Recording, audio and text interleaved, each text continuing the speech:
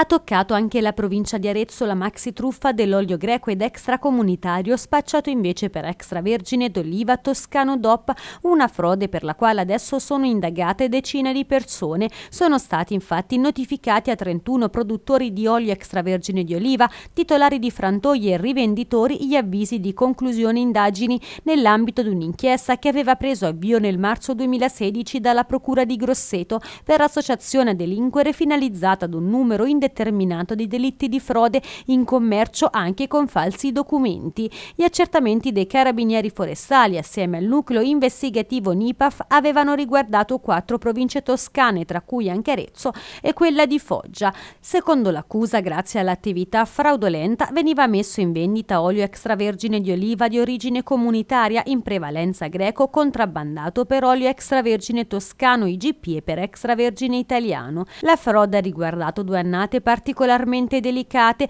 quella del 2014-2015 e 2015-2016, quando a causa della mosca olearia i quantitativi di olio extravergine d'oliva prodotti in Toscana non erano stati così abbondanti da evadere le richieste del mercato.